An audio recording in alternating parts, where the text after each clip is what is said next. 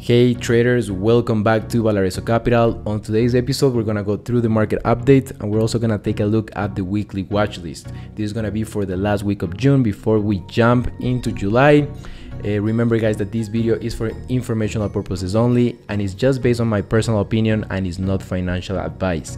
Just a quick announcement before we jump uh, into this week's episode. I recently joined the Prime Trading community this community was created by Alex. I'm gonna put all the things, all the links in the descriptions. You're gonna be able to find Alex a Twitter account so you can learn more about his style, and you're also gonna be able to learn more about the community. It's a pretty cool community. We have a lot of traders that are super committed to trading. We talk a lot about psychology. We talk about different strategies. People share their ideas, trades a weekly watch list as well. So it's a pretty, pretty cool place to be. So, so all the links are gonna be in the description. Now, let's jump into this week's episode. Let me just grab my drawing tools. And the first chart that I wanna discuss is the chart of the SPY. As you know, guys, I'm a really, really, really big fan of the spiders. I think that if you have a, a good analysis about what is happening with the SPY, you're you're almost always gonna be on the right side of the market. Like it's pretty, it's pretty easy to be on the right side of the market if you're looking at the at, at the entire basket. So I know that a lot of people tend to only focus on the setups, but I think that if you focus on the setups and also you focus on the SPY, you're gonna have the setups and the environment. And I think that's super, super, super important to understand. I know that sometimes stocks can move in the opposite direction of the SPY or they can have different kind of movement but just thinking about probabilities uh, more than more than 80% of the stocks tend to follow the general market. So if we just think about probabilities we put we put our ego to the side. Uh, if we have an understanding of what the SPY is probably going to do then we probably have a good understanding of what could be the expectation of the stock that we're trading. So for example let's just talk about the SPY here for a second, you can see that the SPY was extended last week. So it was pretty obvious, and we talk about this. We talk about the 1618 extension, the Fibonacci extension. We mentioned this, and we talked that the probability of a pullback in the SPY was actually a pretty high probability. And there, there were there was a lot, a lot of setups in the in, in the market. But what happened? A lot of those setups, the majority of those setups also pulled back.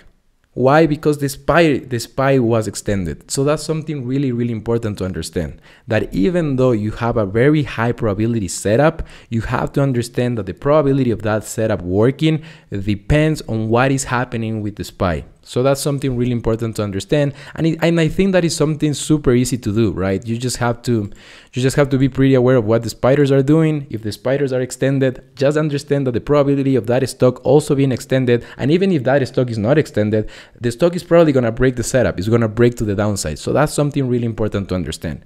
So looking at the SPY here, I'm seeing a market that was extended, but I'm seeing a market that is coming directly into support. And what is the support that I'm watching? As you guys know, I'm a super big fan of the 21 exponential moving average wave. And of course, I'm a fan of the order blocks, which are uh, a certain pattern that we tend to have in the market that shows imbalance between buyers and sellers. And then we tend to see the demand and supply zones. So you can see right here, and I, am also a fan of Fibonacci. So you can see right here that we have this level we have this green line right here. What is this green line exactly? This green line is the one is the 0618 fibonacci retracement. So the 61.8% retracement from this move right here from this swing to this swing right here. So this is a pretty high probability level of support and you can see that the SPY paused right at that level. So that's something super important right? The SPY trades on average $34 billion. And all of a sudden, that level is the exact level with where the spiders came into support. So that's something super, super important to understand is that these levels work. And and I just find I just find it super fascinating that they work so amazingly well. And you can see that the 1618 extension worked perfectly. This was an extension that we measured months, months before we actually reached that level. So something really important to understand. And if you want to learn more about Fibonacci, Carolyn Boroden, she's a genius. about Fibonacci. Everything that I learned about Fibonacci, I learned from Carolyn from Carolyn and she has a she has a pretty she has a lot of content she has her own YouTube channel I'm gonna make sure to put that also in the description I think that's a, a, an amazing place for for resource about information so what exactly is my expectation with the SPY my expectation with the SPY is that after being extended we're probably gonna come into support so that's what I'm looking at. And I think that we have a, a, great chance of actually bouncing from this level of support right here, which is Fibonacci, the demand zone, the 21 exponential moving average wave. And I'm looking actually for higher prices. I don't know if we're just gonna bounce like a like a B, like a B bounce. I don't think that that's probably what is gonna happen, but I think that we're probably gonna form a, a really nice base around these levels right here. You can see that I also have a kind of a red uh, a red level and this is basically just the Fibonacci measure from this high right here to this low right here. So this is basically just the also the 50% and the 61.8%, but this is the the resistance levels that I'm watching. So my expectation is that even if we bounce, I'm expecting this level to act as resistance. This is somewhere around 437, give it or take. So my expectation is going to be that that level acts as resistance if we happen to bounce and then basically just form kind of a little base right here. Moving averages continue to to catch up with price and then probably we're going to continue to see higher prices in the in in the in the general market as a whole. So that's gonna be it with the market. That's gonna be basically the what I'm what is my expectation with the market. And we also I think that we also can take a look at the at the equal weighted ETF. This is the equal weighted ETF for the SPY. So basically all the stocks weighted exactly the same. And you can see that we have kind of the same scenario, right? We had a pretty strong move to the upside. We came right into supply and now we're coming right into demand. So a lot of people were super, super bullish here and that's okay, right? That's okay because stocks were going up, but we were coming right into a level of supply. And isn't isn't it fascinating that we had this level? This level was here way before this happened, right? This level was here all the way from this order block right here that was in February. So we had this level in advance. And then all of a sudden we came right into that level and we knew that this level was had a, had a high probability of acting as resistance. That's exactly what happened. We're coming right into support and the support is right here at the 21 exponential moving average wave. So this so far, yes, it was a pretty significant pullback, but it's a pullback that is coming into support. So I'm, my expectation right here in the equal weighted is kind of the same. I'm looking for this to form kind of a base before the next leg to the, the next leg to the upside. And we if we also take a look at the QQQE, which is the equal weighted for the for the Nasdaq, we have the same scenario, right? We came right here into supply, which is actually pretty amazing. And I don't know if you can see it, but I have a red line right here. That's the 1618 Fibonacci extension. And that extension was measured from from this base right here was measured from this high right here of 73 all the way to this low to 68.28 we had the 618 extension that coincide with the with the supply level and we came right into that level. So I, I just find it pretty fascinating. So we came right into that level and now we're starting to pull back. You can see that we're coming right into that 21 exponential moving average wave. We're also coming into into a demand level and we're also coming near that Fibonacci support zone. So this is a high probability support zone. Like there's no reason to get super scared right at demand. It doesn't make much sense. I think that if if, if something, this is a place where we want to start accumulating some of the stocks that we're watching. So this this this is looking actually pretty constructive. And now let's jump into the weekly watch list. So I have a couple names that I want to show you. If you want to take a screenshot, as always, here are the names that I'm going to be watching. Uh, for ETFs, I'm watching the, the Dow Jones. I'm watching also the Russell. And then here are the individual names that I'm watching. I'm also watching the SMH. I think that one is looking pretty constructive.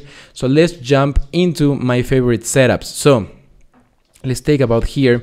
I think that my one of my favorite setups is going to be Unity. Let me just make these a little bit smaller.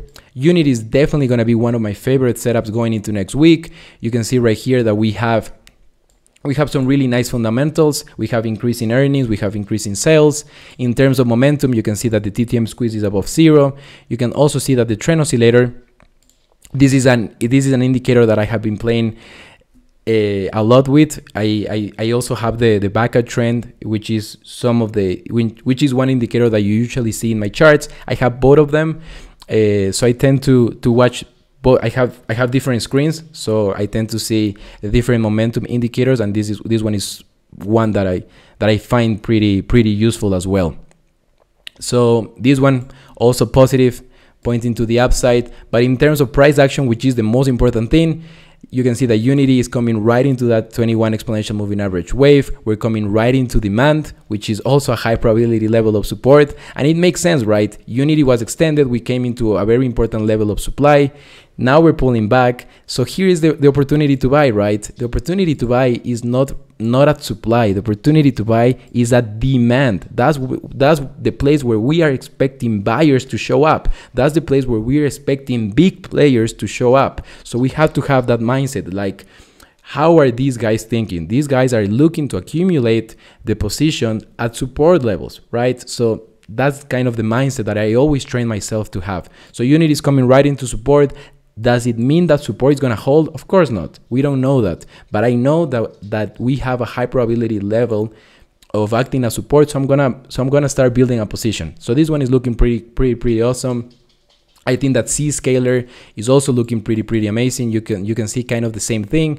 We were extended, we have a reversal candle, and now we're coming right into support. You can see that we have a Fibonacci zone, we have the 21 exponential moving average wave, and you can also see we have some really amazing fundamentals. This is an, a company that is that is constantly growing, growing earnings, growing earnings per share, growing sales and earnings per share, and now we have an opportunity to get in, right? Now we have the opportunity to get in at support, and then I'm expecting a move from from support right into supply. So that's going to be the trade that I'm going to look in in Zscalers.